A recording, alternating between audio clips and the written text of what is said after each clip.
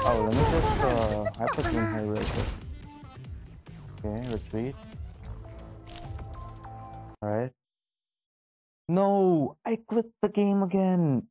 Ah, oh, man. So, there is a bug with the keybinds in the test client where you can't change the button for quitting the game. So I keep pressing escape and quitting because of muscle memory, but Kuro is already aware of this issue and they are working on it. So make sure not to make this mistake on the launch of the PC client in case it doesn't get fixed in time. The PC client is releasing on May 15th, which is very soon, and here are the system requirements for it. Now, some people have very low end hardware and are still able to run the PC client well because the game is just so well optimized. It runs very smooth at 120 FPS on my NVIDIA GTX 1080 Ti as you can see at the top left in the gameplay footage. Okay now, let me show you the settings you can do on the PC client. Let's start with the sound settings. You can change the volume of the BGM, effects and voice over here. It says voice in the top right, which is a typo as it is actually a button for muting all sounds. You can also choose between Japanese and Chinese voice acting and there is also an option for muting the game sounds when it's running in the background. Moving on to the graphics setting, you have the classic full screen, borderless and windowed options. You can customize graphics, resolution, shadows, VFX and reflections. You can set your FPS to 120 here and also adjust the bloom and distortion for those who don't like the flashiness in combat. But unfortunately there is no brightness setting yet. We also have HDR, FXAA and VSync options.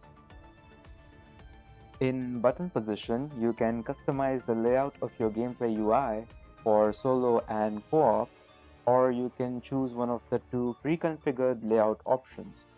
Personally, I would like to max out the button size, but it seems to be bugged in the test client right now.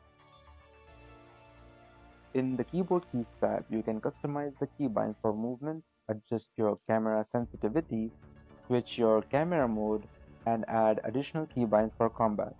I personally use my side mouse buttons for attack and dodge, but some people are having issues where the client won't recognize their extra mouse button. The attack rapid fire setting is very useful for characters like Luna and Vera Garnet who need to be able to attack without activating their core passive preemptively.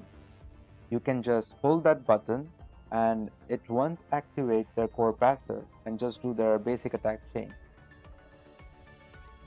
In controller buttons, you can turn on controller mode and you can change the keybinds for your Xbox and PS5 controllers.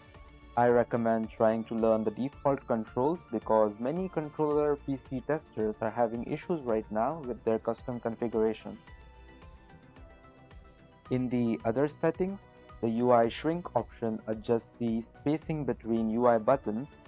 I highly recommend maxing it out if you're using your mouse to ping orbs like me.